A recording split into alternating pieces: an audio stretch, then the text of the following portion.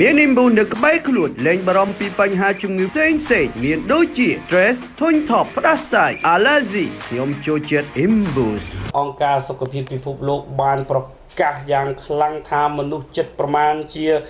110,000នាក់ឆ្លងវីរុសកូវីដ -19 ថ្មីនៅលើពិភពលោកក្រៅពីប្រទេសចិនឯណោះ បាទអង្គការសុខភាពពិភពលោកដែលហៅកាត់ថា WHO បានប្រកាសថាមនុស្សប្រមាណជាជិត10000សំទោស110,000នាក់ បានឆ្លង virus corona ថ្មីក្នុងរយៈពេលតែ24ម៉ោងកាលពីថ្ងៃអាទិត្យម្សិលមិញនៅទូទាំងពិភពលោកតែម្ដងដោយមិនគិតពីចំនួននៅឯប្រទេសចិនទេ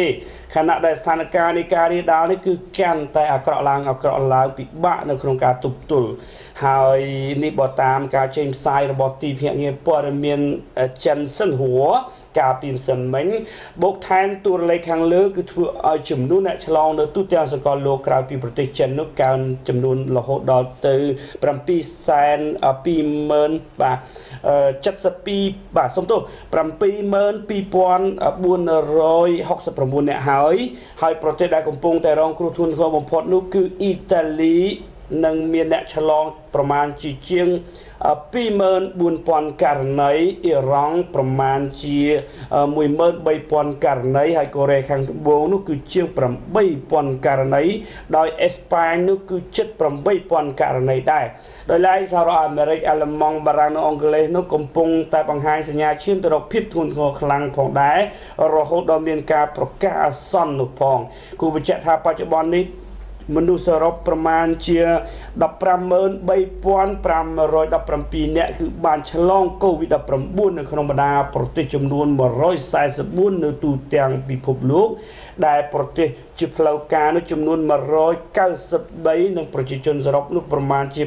7000លាននាក់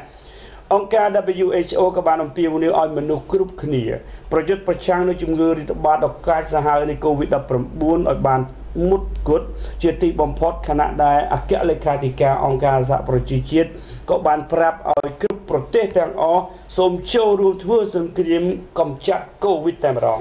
បាទ បាទមិនមែនធ្វើសង្គ្រាមដើម្បីអីណាគឺធ្វើសង្គ្រាមដើម្បីការពារទាំងអស់គ្នាដើម្បីមនុស្សលោកទាំងអស់គ្នាឥឡូវប្រទេសកម្ពុជាក៏កំពុងតែដុតដៃដុតជើង ជាពិសេសឯកឧត្តមរដ្ឋមន្ត្រីពាក់ព័ន្ធគ្រប់ស្ថាប័នក្រសួងពាក់ព័ន្ធទាំងអស់ត្រូវតែប្រយ័ត្នរៀងរៀងខ្លួនបាទប៉ុន្តែធ្វើយ៉ាងណាពី ពីចំណុចសូនដែលអត់មានឥឡូវគាត់ការពារបានខ្លះខ្លះហើយមិនថារៀលដាដូចអ៊ីតាលីអ៊ីតាលីកាលមុនមិនទាន់មានដូចនេះយើងមិនចឹងបាទថ្មីស្រឡាបាទថ្មីស្រឡាតែប្រហែលថ្ងៃនេះទេតែប្រហែលថ្ងៃផ្ទុះអញ្ចឹងការផ្ទុះការទប់ស្កាត់ជាចំហខ្ញុំមិនមានទូទាចេះជាយោបល់ទេប្រទេសកម្ពុជាយើងបើអាចបិទចរាចរណ៍ទៅក្នុងនិងក្រៅប្រទេសបានល្អ ធ្វើមិនការពារឲ្យបានតាមខ្សែក្រវ៉ាត់ព្រំដែនអ្នកដែលនៅព្រំដែនដាច់ខាត់មិនឲ្យចូលដាច់ខាត់កុំឲ្យមានមនោចេតនាកន្លែងណាមួយ បើសាយភាយសម្រាប់ប្រទេសកម្ពុជាលំបាកណាស់អញ្ចឹងតអ្នកទាំងអស់គ្នាត្រូវតែការពារពាក់ម៉ាស់លាងដៃទាំងអស់គ្នា បាទលោកលោកស្រីនៅក្នុងនោះប្រទេសកម្ពុជាក៏បានបិទនៅការ ចូលនៃជនជាតិបរទេសដែរជាពិសេសគឺពីប្រទេសនៅអឺរ៉ុបដូចជាសហរដ្ឋអាមេរិកបាទប្រទេសអ៊ីតាលីឬក៏ប្រទេសអ៊ីរ៉ង់ពីផងដែរប៉ុន្តែ មានការលើកឡើងរបស់បងប្អូនយើងថាហេតុអ្វីក៏មិនបិទជនជាតិចិនដែលមកប្រទេសកម្ពុជា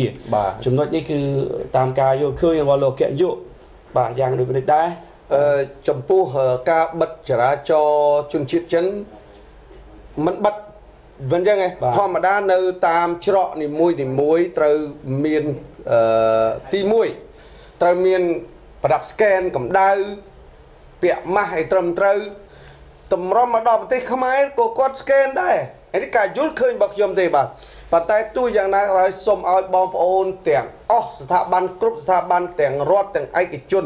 ជាពិសេស Today Internet ក៏មានការពី មានលៀងដៃពាក់ម៉ាស់អីដែរលោកសុធន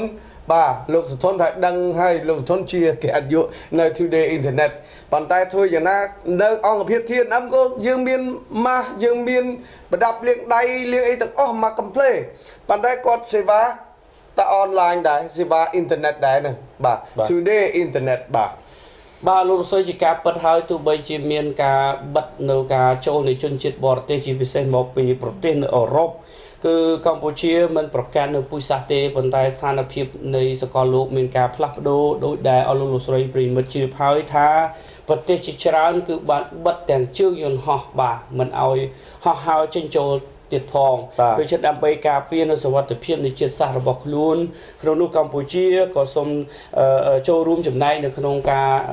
ជំរុញឲ្យប្រជាពលរដ្ឋរបស់យើងចេះការពារខ្លួនបាទចេះបង្ការនៅការរីកត្បាតនៃជំងឺ Covid-19 តាមរយៈការរក្សានៅអនាម័យការលាងដៃឲ្យបានស្អាតគឺឲ្យបានត្រឹមត្រូវហើយនឹងការការពារដោយការពាក់ម៉ាស់សុវត្ថិភាពជាដើមបាទ